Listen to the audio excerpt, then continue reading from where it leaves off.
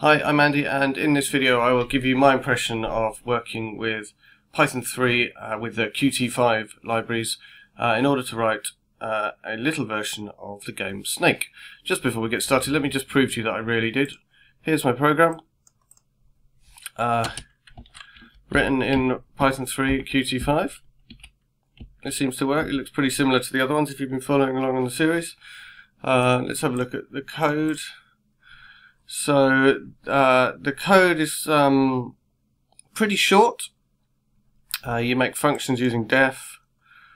Um, um, here we set up some sort of global variables.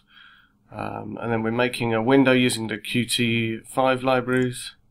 And we're using the QGraphics scene, QGraphics view uh, to render that stuff.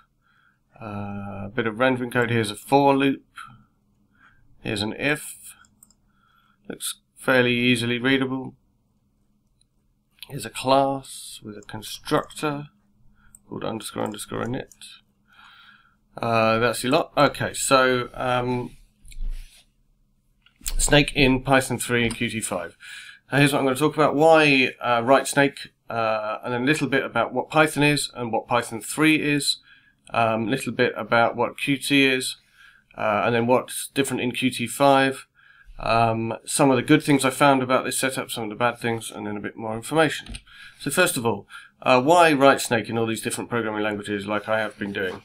Um, well, mostly because I really like Snake. I think it's a great fun game, especially when you keep it simple in the, uh, like I have done in my implementations, not add all these newfangled features.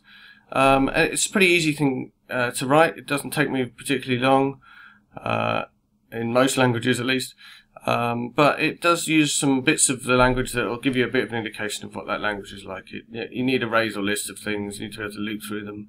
You've got to get a user interface up and running, which is sometimes difficult. Um, you've got to use input from the user. So, Python.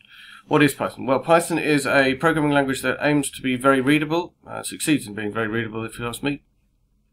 Um, it, uh, it's a so-called scripting language, which really just means it's easy to write a program and run it uh, without having to do a load of compilation steps beforehand and stuff. Actually, underneath, it compiles into a bytecode um, the, the, same way that Ruby does, and pretty similarly, really, to the way Java does. Um, but the compilation step is all hidden from you. You never have to worry about it. You just say Python and name of your program and it runs. Um, the types of variables in the language are dynamic, so you don't explicitly say what um, type of variable it holds, um, and variables can hold one type and then later on a different type. Um, syntax is pretty familiar to someone coming from C, C++, Java world. Uh, function name bracket arguments with commas between them to call a function, things like that. Uh, but the big difference from that kind of family of languages is that instead of using curly braces to mark out your uh, blocks of code, you actually use white space, which uh, takes some getting used to. Uh, basically, the indentation in your code um, is actually communicating to um, the compiler, not just to humans. Um, and it's often been called executable pseudocode. It looks very, very simple, especially for contrived examples um, you can write Python code that looks like exactly what you would have written if you were just saying, imagine there was a language that was just got out of your way and did what you wanted. Um, so there's just some examples there. So, what about Python 3? What happened in Python 3? Well, one of the big things that happened in Python 3 was the big Unicode fix. So, previously in Python, uh, strings were not Unicode by default. You had to use a special Unicode string.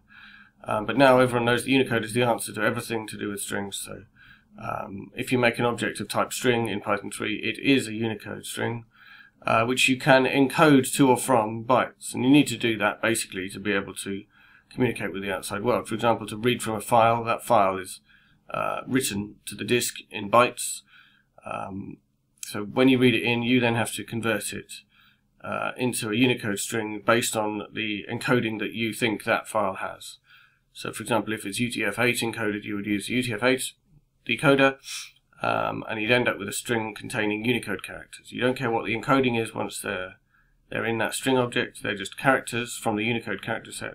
But then when you communicate with the outside world, like printing to the console, or writing to a file, or doing something over the network, you need to encode those sort of those characters, which are, which are not in any particular encoding as far as you're concerned, into actual bytes. So you need to encode them.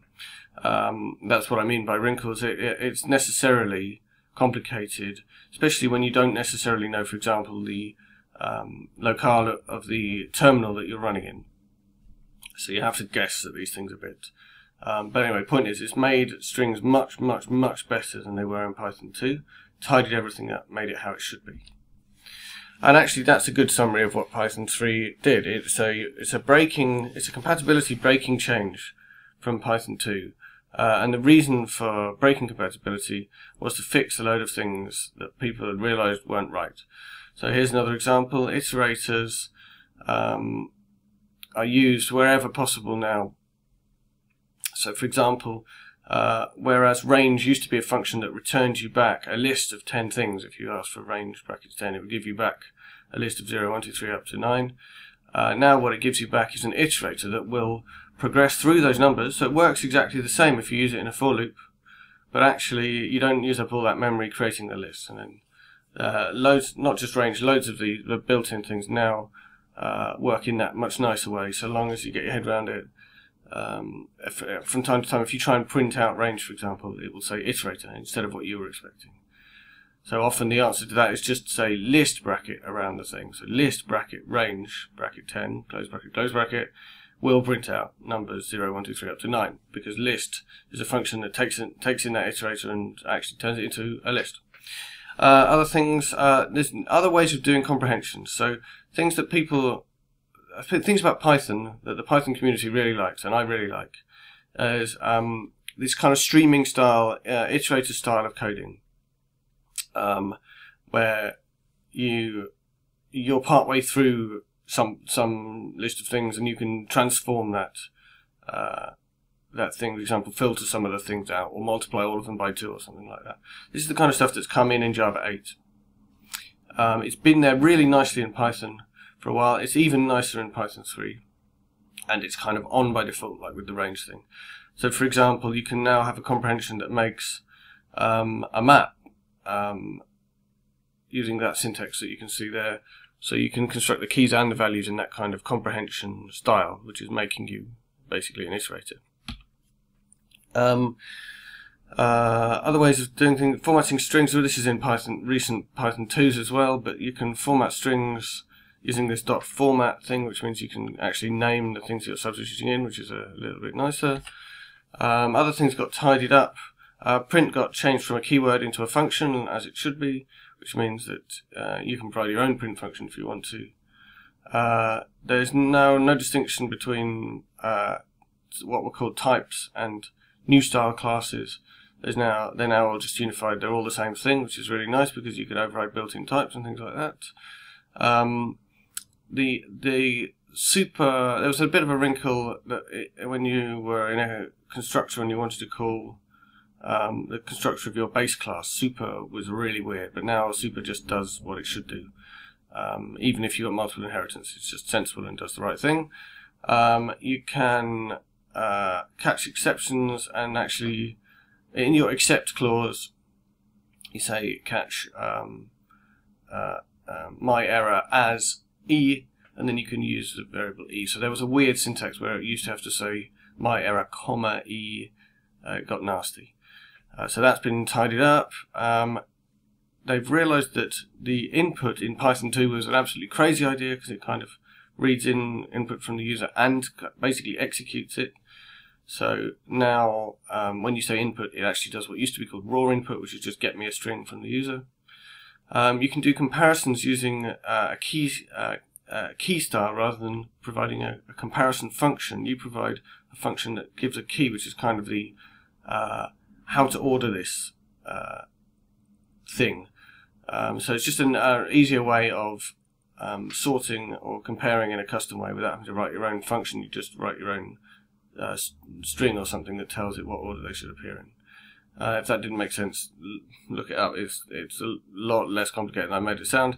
Uh, lots of other things uh, little wrinkles sorted out, made nicer. Lots of tidying up, which is a really good thing. A lot of languages never do it. So it was controversial moving to Python 3 and breaking compatibility, but boy is it a better and tidier language for it. Okay, Qt.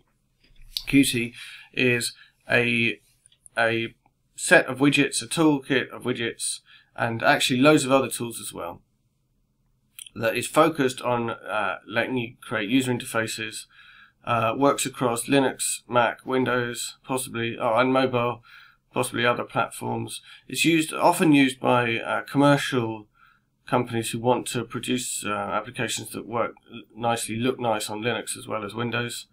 Uh, it's it's the basis of the KDE desktop environment, or the K desktop environment. Um, uh, KDE has always been built on it. Um, and you can get hold of the Qt code under uh, uh, a kind of commercial proprietary license or, uh, an, or an open license, which requires you to um, share back any changes you make when you distribute and share the source code when you distribute, uh, which is, of course, a commercial thing to do as well. Um, but uh, if you pay money um, for a proprietary license, you don't have to do that. Um, Qt is written in C++. It's very much at home uh, if you're writing your code in C++, but it has lots of bindings to other languages. Um, and it's actually, it works in a superset of C++, where you write some code that, that hooks up events using a signals and slots paradigm, and then you run a little Qt specific tool over your C++, that, and that actually spits out real C++ so you can send to your C++ compiler. That's all wrapped up, so you don't notice that particularly, but that's what's really happening. Qt is very complete. It has loads and loads of features. Uh, and for Snake, I used the Canvas feature, and it's very, very full featured. Much more um, help was given to me, should I want it, than the other libraries I've used to write Snake so far. Uh, it also has full-featured multimedia libraries. It can do multi-touch. It, has got a big networking library. Go and do SQL, so you can see it goes well beyond just UI stuff. It has this IDE called um, Qt Creator, which I didn't use, did not use, but um, is apparently very good as well. So there's loads. Qt can be the the whole world that you live in for most of your code. Um, Qt5. What happened in Qt5? Well, the big thing that happened was they brought out this new thing called QML, so you can make your user interfaces using JavaScript and a kind of XML-like language to describe your interface and uh, and your interactions. Um, so you uh, you can yeah you don't you don't have to do use C++ or some other language. You can just write it in these webby type things, and that that has very flashy effects. Uh, things fade in and slide around and all that stuff.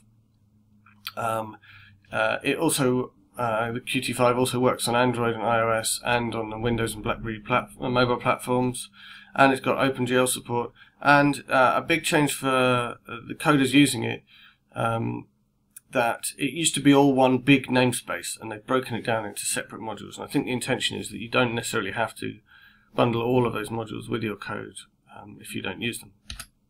Okay, so what were the good things uh, about writing Snake in this setup?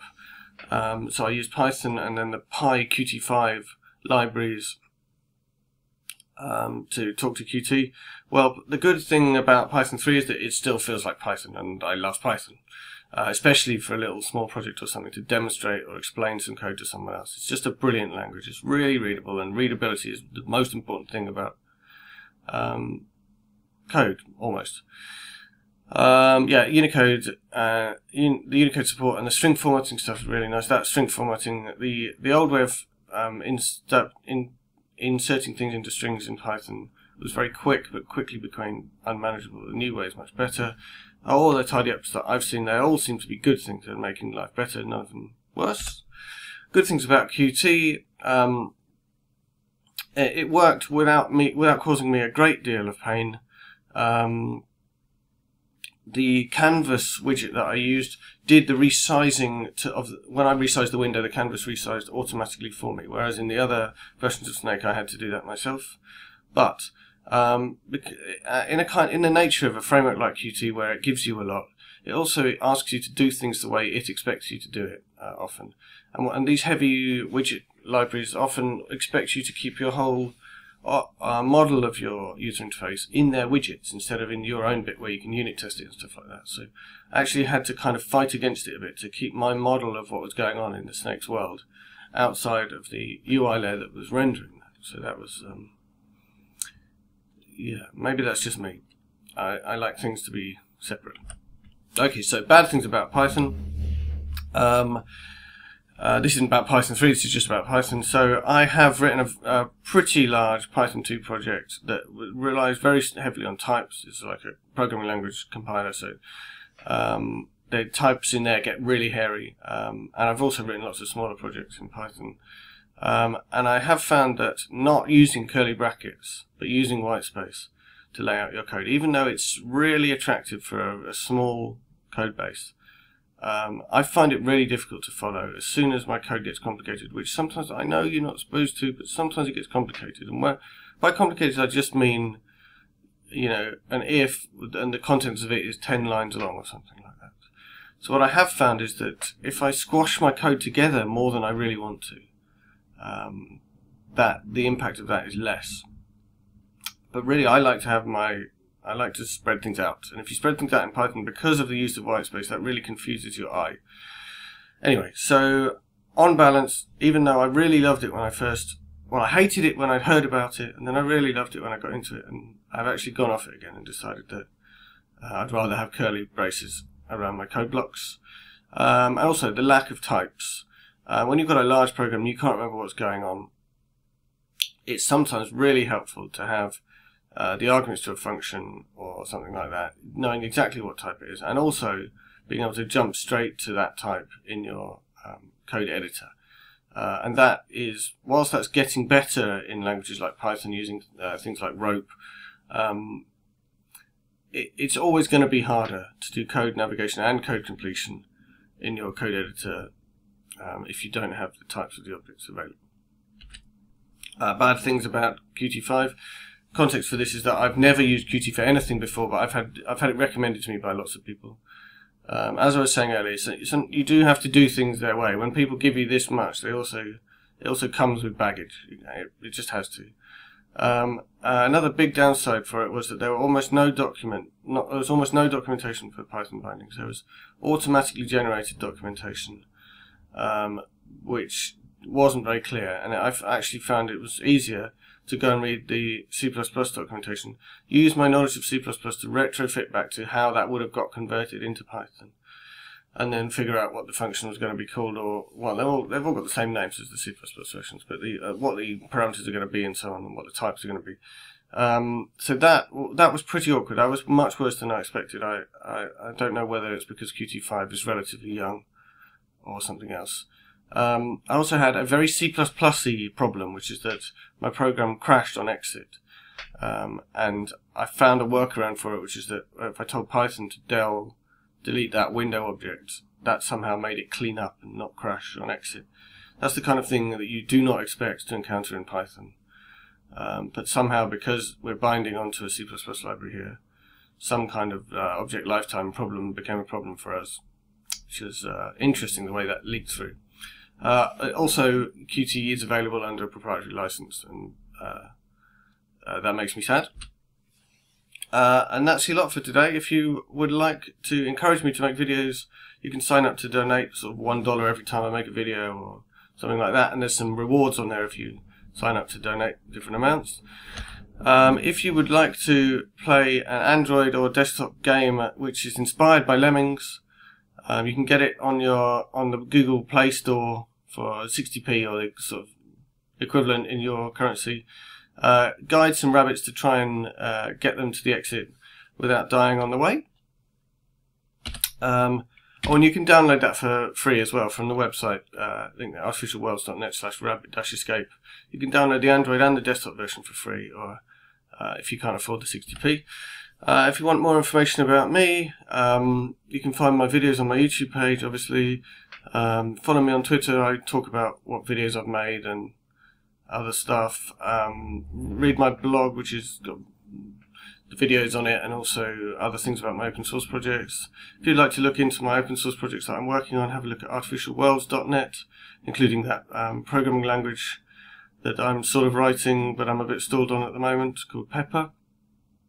Um, uh, if you like this video, click on like. If you would like to subscribe, uh, click on subscribe, and see you next time.